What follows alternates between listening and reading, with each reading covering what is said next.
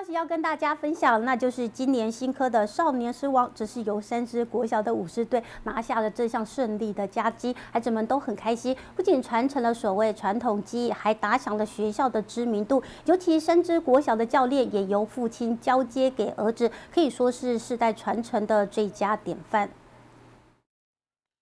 三支国小组成武狮队已经有十多年，今年在泰山狮王节的少年组比赛中，以些微的差距战胜去年的狮王前华国校，拿下少年狮王，孩子们都相当开心，为传统技艺传承还得了名。此外，三支国小的教练也由父亲交接给儿子，可以说是世代的传承。不论是学生还是孩子，都为了传统技艺的传承而努力。刚开始是由我爸爸先开始带的，然后之后。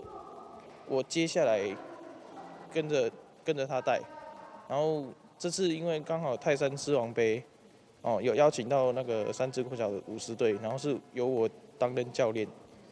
啊，可能平常的训练就是说，他们都听从教练的话，然后有认真在学习。呃，我们就是以一代接一代这样子传传承上来，对啊。那今年得了金牌。对对，就是这个泰山狮王杯荣获了冠军，这个奖，这个金牌，对这个弄，感觉就是呃带出来真的有这个经验，对吧？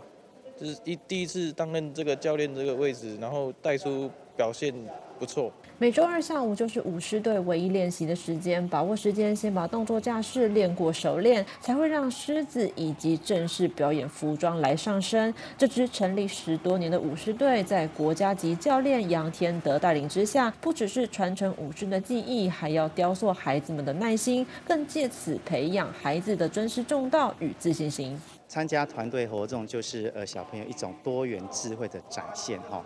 那小朋友参加这个舞狮队，呃，在课后的时间哈，其实他也是学到另外一种技艺，啊，包括呃舞狮的一个技巧，然后呃打鼓的一个节奏，还有团队的合作。我想在这个部分。呃，是在课业里面学不到的。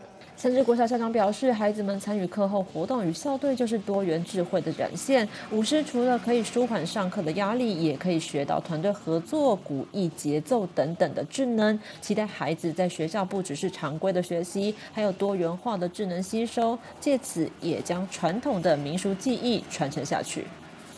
记者廖平涵三支采访报道。